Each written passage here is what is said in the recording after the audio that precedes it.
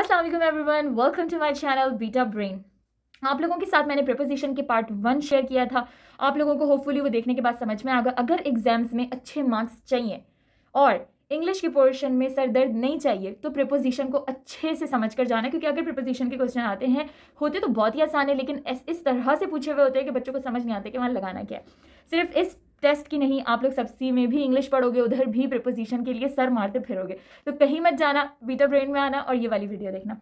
अच्छा जी अब आ, आ, पिछली वीडियो में मैंने बात की थी प्रिपोजिशन में ऑन ऑन टू अपॉन आप लोगों को वो क्लियर समझ में आएगा अगर नहीं देखिए तो जाके पहली वीडियो देखो फिर पार्ट टू पर आओ। आज की इस वीडियो में हम बात करेंगे प्रिपोजिशन ऑफ़ टाइम और प्रिपोजिशन ऑफ़ प्लेस तो मेरे पीछे आप लोगों को ये क्लॉक नज़र आ रही होगी। आप लोगों ने ये क्लॉक नहीं भूलनी बिकॉज़ आज हम पढ़ेंगे प्रपोजिशन ऑफ़ टाइम और प्रपोजिशन ऑफ़ प्लेस ये दोनों चीज़ टाइम से रिलेटेड है क्लॉक से रिलेटेड है। जो क्लॉक याद रखेगा, वो सारे रूल याद रखेगा। चले जी विदाउट टाइम वेस्ट किए चलते हैं वीडियो की तरफ़। Okay friends so let's start it preposition आज हम पढ़ रहे हैं पार्ट टू में और प्रिपोजिशन ऑफ़ टाइम और प्रिपोजिशन ऑफ़ प्लेस आपके स्क्रीन पर यहाँ पर एक प्यारी सी क्लॉक बनी हुई है, जो अगर क्लॉक नहीं भी लग रही तो एज्यूम कर लो ये क्लॉक है।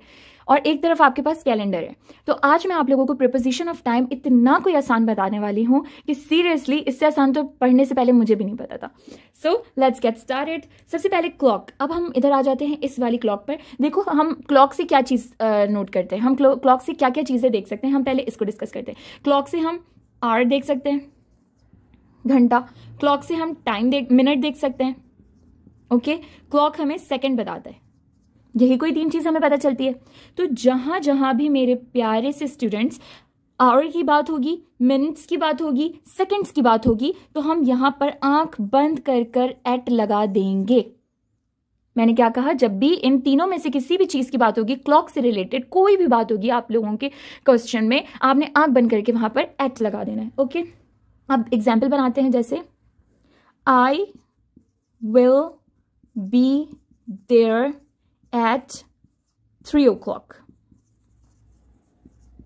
I will meet you at 10 o'clock. I will meet you at 10 o'clock. We went to school at 7 a.m. So, जितने भी टाइम से रिलेटेड बात होंगी, हमने वहाँ पे बिल्कुल एट लगाते जाना है at at at at at okay अच्छा अब हम यहाँ पे देखते हैं, हमारे पास है कैलेंडर ओके जी कैलेंडर है तो कैलेंडर में हम क्या क्या चीज़ें मेजर कर सकते हैं? कैलेंडर से हम देखते हैं ईयर कौन सा साल चल रहा है. कैलेंडर से हम देखते हैं मंथ इससे हम देखते हैं डेट और डे यही चार चीज़ें हम कैलेंडर से देख सकते हैं. ओके जी अब यहाँ पे हम क्या करेंगे जहाँ भी एयर और मंथ की बात होगी, मेरी बातों को गौर से सुनना और फिंगर टिप पे याद रखना जहाँ भी एयर और मंथ की बात होगी, वहाँ पर हम आँख बंद करके इन लगा देंगे इन ओके okay? और जहाँ पर डेट और डे की बात होगी, अगर आप मेरा पार्ट वन देखकर आ रहे हो प्रेपोजिशन वीडियो का तो आपको पता होगा मैंने वहाँ बताया था डेट और डे में आपने आँख बंद करके लगा देना है ऑन ओके okay? अब इसकी हम एग्ज़ाम्पल कर लेते हैं मैंने कहा कि कोई भी ईयर या मंथ की बात हो तो हम इन लगाते हैं। ठीक है, अब पहले सेंटेंस हम लिखते हैं। My exams is in December my exams is in December number two Pakistan got independent in 1947 मैंने एयर की बात की आई पुट इन मैंने मंथ uh, की बात की आई पुट इन यहाँ सब में प्रपोजिशन इन जाता गया। क्योंकि एयर और मंथ की जब भी बात होनी है हमने आँख बंद करके ना इन लगा देना है उस जगह पर। अच्छा अब मैं मैंने कहा कि जब भी हम बात करेंगे डे और डेट की तो हम बात करेंगे ऑन पे। ठीक है अब मैं लिखती हूँ I will meet you I will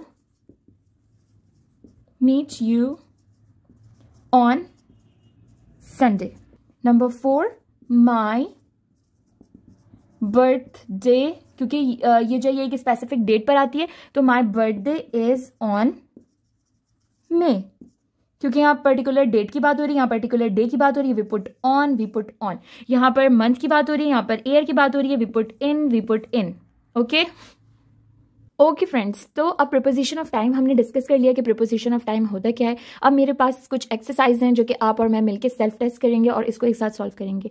ठीक है, अब इसको सॉल्व करने से पहले नीचे ज़रा हम देख लें। थोड़ा सा थोड़ा सा थोड़ा सा नन्नू मन्नू से रिकॉल कर लेते हैं।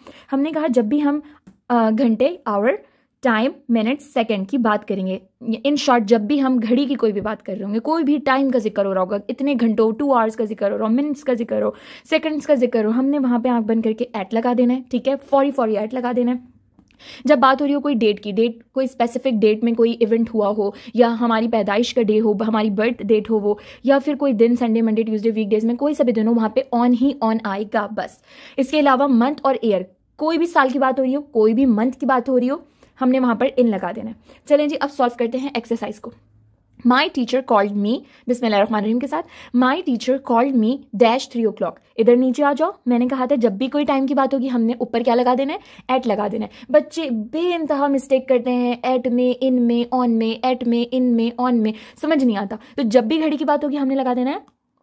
At sorry for the noise at okay Sana will launch her brand dash 2022 Sana will launch her brand अब इतना तो हमने पढ़ना ही नहीं है, हमने चॉइस भी नहीं देखनी। 2022 है एयर आ गया। एयर में क्या लगना है? इन लगना है। तो हम यहाँ पर इन लगा देंगे। Okay ji my parents got married dash three June three June एक दिन का ज़िक्र आ गई, एक डेट आ गई है।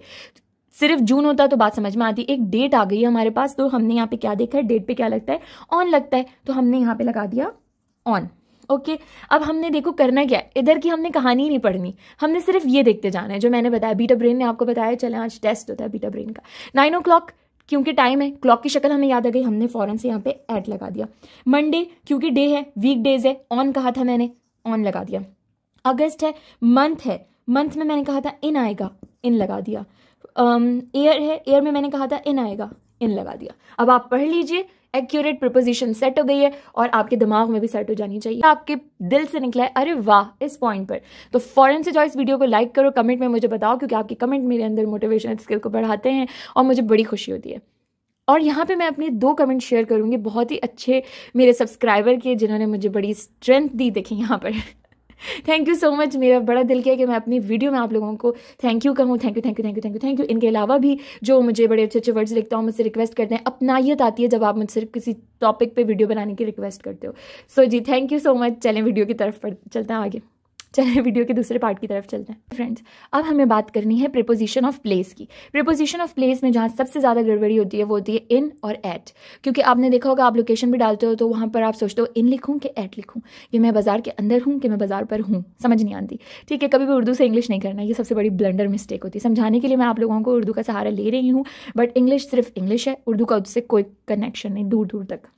अच्छा अब मैंने इनका आपको बता दिया था ईयर और मंथ वो तो आपने अपने बिल्कुल हिफ्स कर लेना फिंगर टिप पे उससे आपने उसको रिमाइंड अपने रिमाइंडर पे डाल लेना है।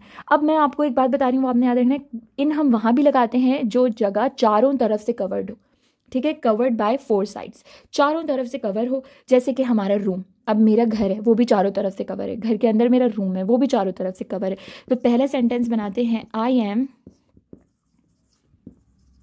अब यहाँ पे बनाने वाली ये भी सोचता है I am at my room at नहीं होगा, क्योंकि रूम चारों तरफ़ से कवर एक डब्बे के अंदर हो आप। तो आपने यहाँ पर लगा देना है I am in my room okay इसी तरह से हम दूसरा बनाते हैं कि आई एम अगर आप कॉलेज में हो यूनिवर्सिटी में हो तो I am in my class ठीक है, चारों तरफ़ से आपने कवर्ड है। आपने सेंटेंस को, उसकी जो है ना एक्सप्लेनेशन को समझना है कि ये कवर्ड है हर जगह से तो ये इन होगा। अब इसी तरह से बात करते हैं कि एग्जैक्ट लोकेशन देखो, अगर मैं कहूँ कि मैं रहती हूँ लाहौर में तो मैंने आपको कहा है कि मैं लाहौर में हूँ, लेकिन मैं लाहौर में कहाँ हूँ, आपको नहीं पता।